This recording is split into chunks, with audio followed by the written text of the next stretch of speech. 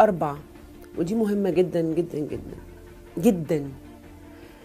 ربنا بيقول لي في القرآن بسم الله الرحمن الرحيم ألا إن أولياء الله لا خوف عليهم ولا هم يحزنون. عندنا حاجتين. مش عايزه تخافي مش عايزه تحزني. ناس كتير جدا جدا بيجروا في الدنيا عشان الحاجتين دول. مش عايز يخاف وعايز يبقى مطمن. مش عايز يحزن خالص عايز دايما يبقى مبسوط. طب ما إحنا عندنا ال- ال- الحل أهو. طيب ألا إن أولياء الله. طيب يا رب إزاي أكون أولياء الله؟ يعني أقعد أصلي بقى وأصوم بقى و... لا. هو طبعا الحاجات دي كلها جميلة بس أولياء ربنا هم اللي بيسمعوا كلامه. طب أنا في ثانوية عامة أقعد أعمل إيه؟ اللي أنا طالباه منكم حاجة واحدة بس.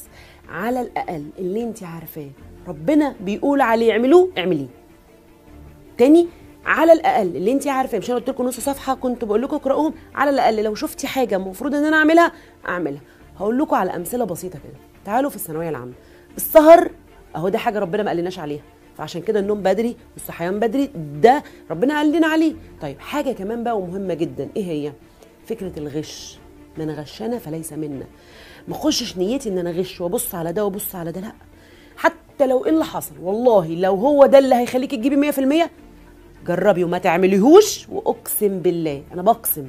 شوفي ربنا هيفتحها عليكي إزاي. قال فتحنا لك فتحا مبين هتلاقي ربنا بصي أو بصي مثلا عمل لك طريق أنت ما تتخيلوش فالغش لا.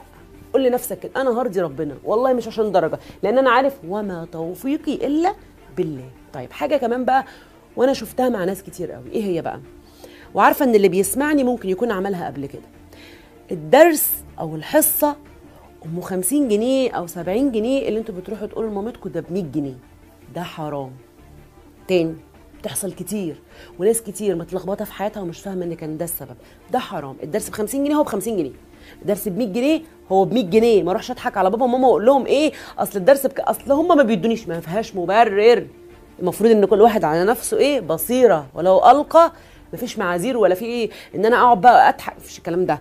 فيعني ربنا هيطرح البركة. فلو بيدوك عشرة ربنا يطرح لك البركة. فيها أصل ما بيعملوش وأصل بخله مفيش مبرر. خد منهم الصح.